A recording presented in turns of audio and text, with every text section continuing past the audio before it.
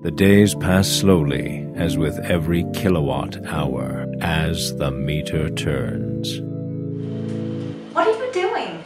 Changing a light bulb. With an incandescent bulb?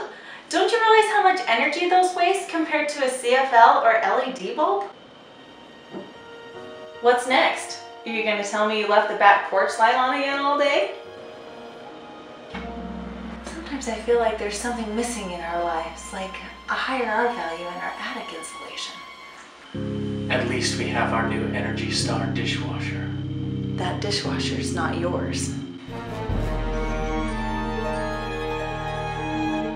Next time on As the Meter Turns. I just can't do it. But it hasn't worked right in months. It's needlessly wasting energy. It's time to pull the plug.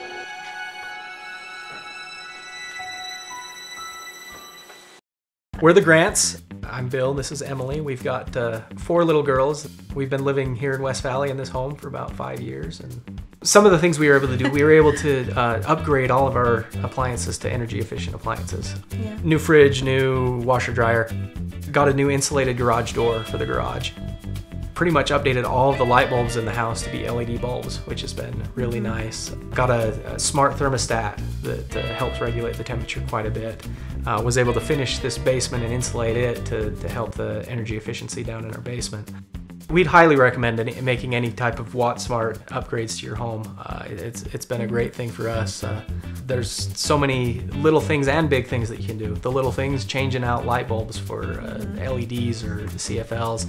Some of the bigger things, you know, uh, making sure you've got adequate insulation in your basement and, and uh, upgrading appliances, things like that. Altogether, the, those little things add up to, to make something big that uh, can really help your efficiency of your home more than anything, it just makes sense.